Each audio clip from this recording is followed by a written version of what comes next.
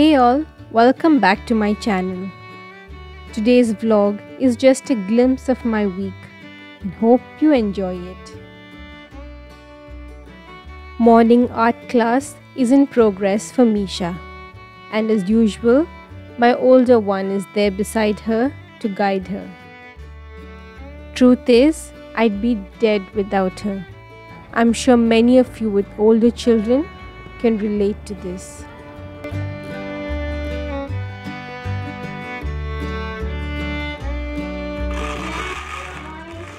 So I'm just making some vegetable biryani.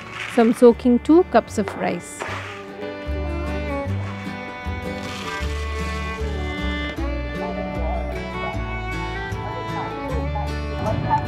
Wait, and now exactly how to do now? How I know? So to a pan, add 4 to 5 tablespoons of oil. Add 6 cloves, 1 bay leaf, a small piece of cinnamon and 3 cardamoms. Add in 2 thinly sliced medium onions and about 6 green chilies. Saute until nice and browned.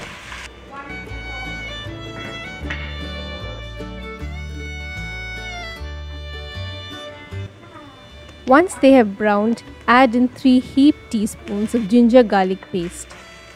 Saute until the raw smell goes. Add in 1 medium chopped tomato. Now since I'm using a cast iron pan, I keep adding water little by little so that the bottoms don't burn. Cover and cook on low flame till the tomatoes are soft and mushy.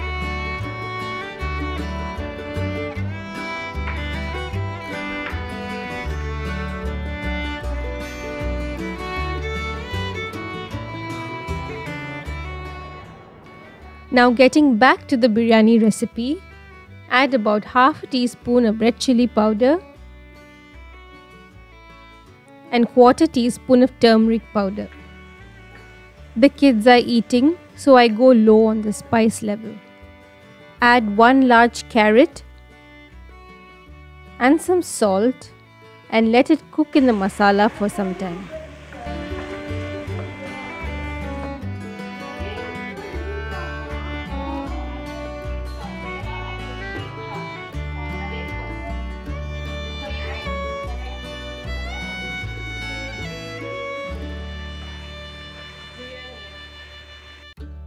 Now add in 2 tablespoons of yogurt.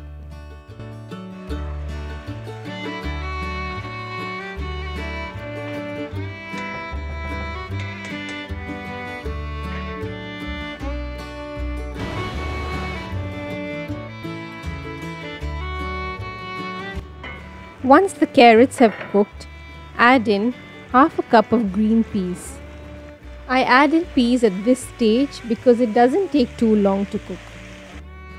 Add in some water and a tiny handful of fresh coriander leaves and mint leaves.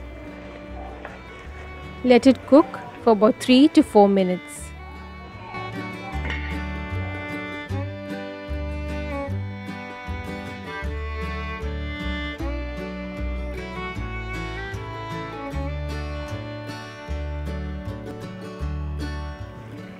Now add in 5 cups of water and bring it to boil.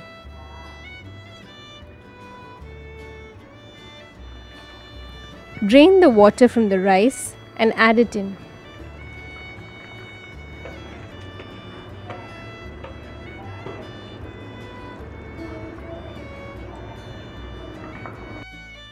Squeeze in about 1 tablespoon of lemon juice.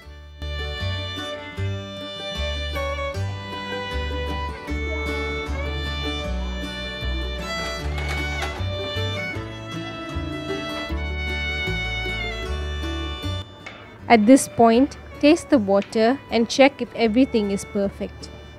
It must be slightly salty. Now cover and let it cook for 12 to 13 minutes on low flame.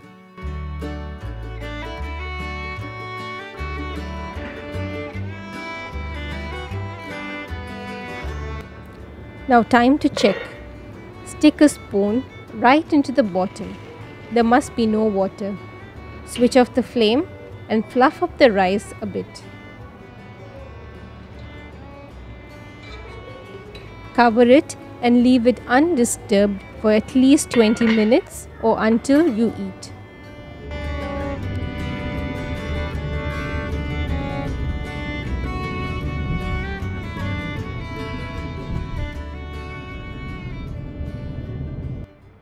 So I'm here at the chiropractor's today to fix my neck and back. I've been seeing Chloe for about a year or two now.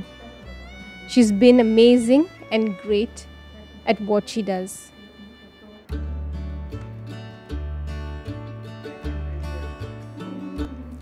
I feel so much relief the next day itself. Oh, One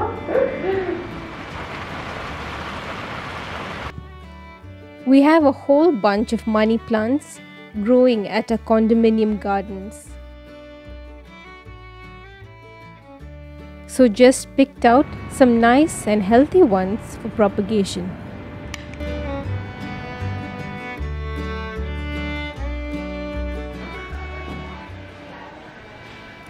So that's what we had for dinner along with some yogurt and some fried chicken. At home, we have dinner as early as 6:30 p.m.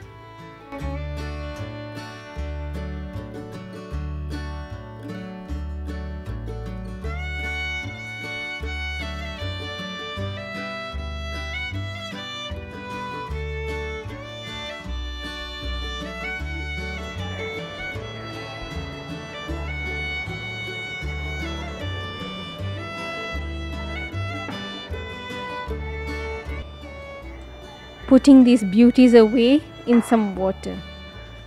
I love indoor plants and prefer keeping them in water. I only have these money plants which are kept indoors in water. If anyone watching has any other suggestions for other indoor plants that I can easily grow in water, please let me know in the comments below. I'd love to hear them.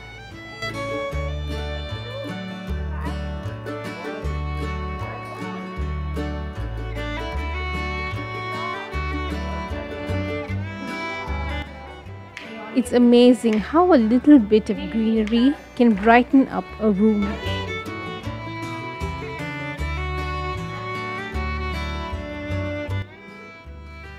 So that's all for today folks. Hope you liked watching today's video. If you did, don't forget to subscribe and leave a comment. So until then, stay safe and good night.